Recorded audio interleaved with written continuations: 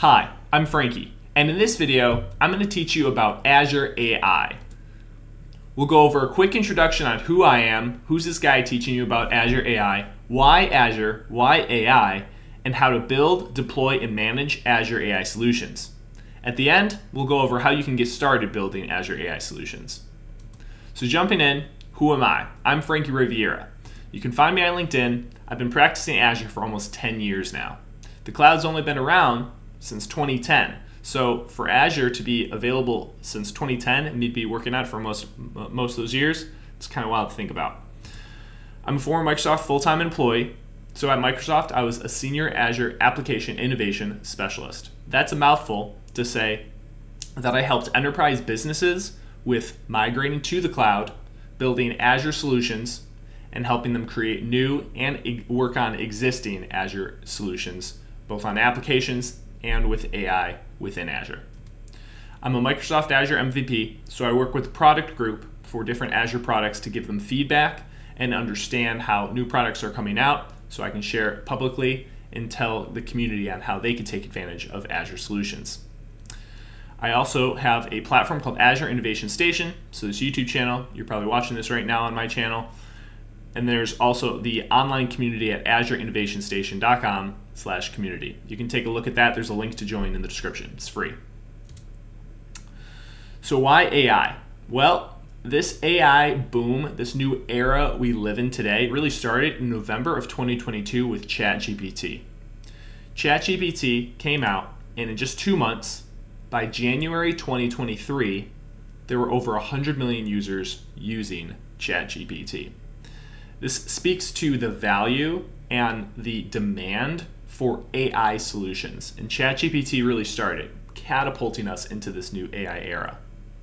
Well, Microsoft invested $13 billion into the company that built ChatGPT, OpenAI. OpenAI has some of the most powerful models called their GPT models, and Microsoft and OpenAI together formed a partnership which catapulted Microsoft to the top of the AI race. So, all things that are being built in the cloud with AI are mostly done in Microsoft. In fact, there was a study done, a research study last year that said 45% of new cloud projects that are using AI specifically are all done on Microsoft, 45% of them, versus 34% on AWS and 70% on GCP. So, where and how are these new AI projects being built? Well, in the past, we used to use all kinds of different tools and services to build these AI solutions. We used TensorFlow and Jupyter Notebooks, and we'd have to, to take all this data to create and build a model, train it, make sure it worked properly, then decide where to host it, how to host it. Are we going to use containers? Are we not? You know, it, how are we exposing the endpoints? How are we integrating it with applications? How are we monitoring it? There's there's so many different tools that were used in this process it's it was a bit of a mess. And Microsoft saw this and said, how can we make it easier? That's why Microsoft came up with Azure AI Foundry. This is the platform, the unified platform to, for developing, deploying, and managing AI solutions. So to build on Azure AI Foundry, some Azure AI solution, you're going to want to start with three points that I'm going to go over. First, you want to select a model. And for those of you who don't know, what exactly is a model? It's an AI model and what exactly is an AI model? It's just a complex algorithm. A complex algorithm, a computer algorithm, is just some sort of programming code that we've written to act a certain way. And we've fed data into that complex algorithm. It had some sort of output, and then we tell it the output we liked and the output we didn't like to reinforce its learning. And over doing that repetitively, multiple times, over and over and over again, the algorithm starts to understand patterns to be able to make predictions with a, a, percentage of likelihood. And so these, these AI models are just glorified prediction machines. They're prediction algorithms. They know how to predict things. And when we talk about a large language model, like GPT series type models that ChatGPT uses, it predicts words or specifically tokens, which we'll discuss a little bit later. But it, it's predicting text that is supposed to come after one another. So that's that's all an AI model is. It's just a complex algorithm that predicts things based on something that we have, uh, based on data we fed it uh, over and over again. So first you must select a model to build your AI solution. You need to then, you want to personalize it with your data. There are base models that work great, but you're probably going to want some level of uh, specialization for your solution. And you're also going to want to add additional functionality. You can just have data and a model, and you'd have a chatbot, but you're probably going to want to build an agent by adding additional functionality or uh, create some sort of more complex solution with multimodal uh, uh, uh types of uh, functionality that you can add in there. So when it comes to selecting a model, Azure AI Foundry makes this easy with a model catalog. So there's a lot of providers out there. Uh, Microsoft has models, OpenAI has models, Meta has models, X has models. There's a lot. And Azure AI Foundry has them available for you to see and compare, check out the metrics. Um, and the four metrics that I want to highlight are the quality metric. You know, what are these metrics we're using? And, and quality is one that is super important because it's, it's the accuracy of how these models actually respond to inputs. So, uh, is it not hallucinating? Is it clear and understandable?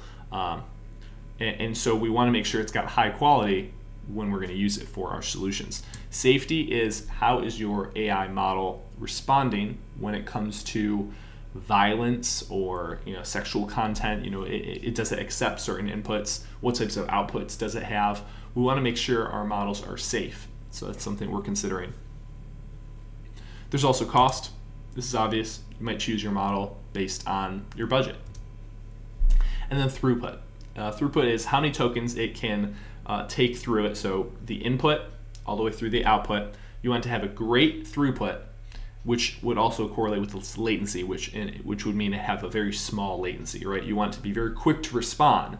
When you make a prompt to that AI model, you want to respond quickly. Have a very low latency, have very high throughput. So next, after you've chosen your model that you're going to use to build your AI solution, you're going to want to personalize it with your data. There's two ways to personalize an AI solution. First, you can fine tune your model this is where you optimize the, the, the model itself by actually creating a brand new model. You have your base model, you add more data, and then you use that data to train that base model to create a brand new model. But this is computationally expensive. It, it costs time and money to do, and so it's not always the most uh, the, the first thing that you should start with when it comes to personalizing your your your AI solution with your data. RAG is the best way to start. So RAG stands for Retrieval Augmented Generation. So this is all about optimizing the context. It's all about the data that you give your model. So if you have uh, input prompts that you give to your model, it's changing the context of what you're giving it. So it might have the opportunity to pull from a knowledge base where it would retrieve data, it augments the input, and then that new input is going to generate a response. So that's retrieval augmented generation. And RAG is you know, just the easiest, best way to get started. Now, when it comes to adding additional functionality, you could just have a chatbot where you have data and you respond back and forth with the, uh, the data that you have from a knowledge base. You respond back and forth with a base uh, AI model. But agents is a term that you hear a lot about now these days. What is an agent? I'd say an agent is just a chatbot that takes some sort of action for you. It executes some sort of task. And the way in which it does this is by you giving it some sort of tool that allows it to execute those tasks, tasks to take action on your behalf. So this might be a pre-built code or function that you build and you describe it to the agent so the agent knows if I need to use XYZ, I can call that one function that I have available. There's also MCP servers. MCP is a protocol, it's a new standard that is recently released from Anthropic to make agents be able to execute and take advantage of existing programs and solutions that we already have. So if you have some sort of uh, program or solution with lots of APIs that are exposed, you could create an MCP server for that, and then an agent could use that MCP server to take advantage of that application or that solution that you have. That's another way you can add additional functionality to create agents or complex agent-like solutions. But there's not just agents and chatbots, there's also multimodal AI solutions, things that use video, images, audio solutions, and in Azure AI Foundry, there's lots of other types of endpoints and existing AI solutions that you could take advantage of. So this is just a list of a handful of different things that are endpoints that you could use for your AI solution to make it more complex. Now, when it comes to deploying your AI solution, there's really two main ways you can deploy your AI solution. There's hosting to think about, where your AI solutions runs, and app integration, so how your AI solution is actually used. It's got to exist somewhere, and you're going to want to take advantage. So let's talk about those. When it comes to hosting, you have two options. There's a serverless model, this is the most common and kind of the direction we're going in for the way AI models are being hosted in the cloud today. And when, when you use the serverless model, you only pay for the input and output tokens. Now, at this point, I want to describe super simply what is a token. A token is just the smallest unit of measurement that a generative AI model uses. So this token is often it's, it's a character or it's a partial word is the, the actual thing that's being measured when we're talking about that, that context which creates your input prompt. And then there's also going to be your output, which is also measured in tokens. And so that total input and output set of tokens are the, the tokens that you end up paying for to determine your the usage for that AI model. There is also the managed compute option, which is only available if using an Azure AI Foundry Hub resource, it's called. This is uh, a larger resource. There's a little bit more involved that, that get created as you create a hub resource. It's, it could be good for larger um, organizational scenarios. Uh, the managed compute option allows you to pay for a set of compute. So you just pay for the resources on a virtual machine or multiple virtual machines, and then you can deploy an AI model to that. And it doesn't matter how many input or output tokens you use because you only pay for that managed compute. Next, we talk about app integration. So when we're thinking about how you'd actually take advantage of your AI solution, there is an endpoint that you're going to get in Azure AI Foundry. That endpoint needs to be consumed somehow in order for you to actually use your AI model. Now, the, the playground is a great place to get started, but you can't live there forever. So how do you then actually use what you built in Azure AI Foundry or in the playground so that uh, you can take advantage of it in the real world. The first way is you could just use a script or a workflow to create a, a bash script, a PowerShell script, a logic app that just calls your endpoint and it's just part of your script or workflow to take advantage of your AI model and what you're building. You could have an existing application, so Microsoft Teams or an extension on Outlook could be your UI that consumes from a backend server that you put together that consumes your endpoint from Azure AI Foundry. And lastly, you could create your own custom application. Build your own custom web, uh, web app, a mobile app, desktop app, and then you just have a backend server, and then that consumes your uh, uh, your AI model. I recently did this. I created a video even that you can take a look at on building an, uh, an email reminder agent. So I built a custom UI, I built a backend server that consumes my AI model and also has my tools to take action and execute on tasks. And then it also calls my AI model in Azure AI Foundry. You can take a look at that. I'll put the link somewhere in this uh, video here.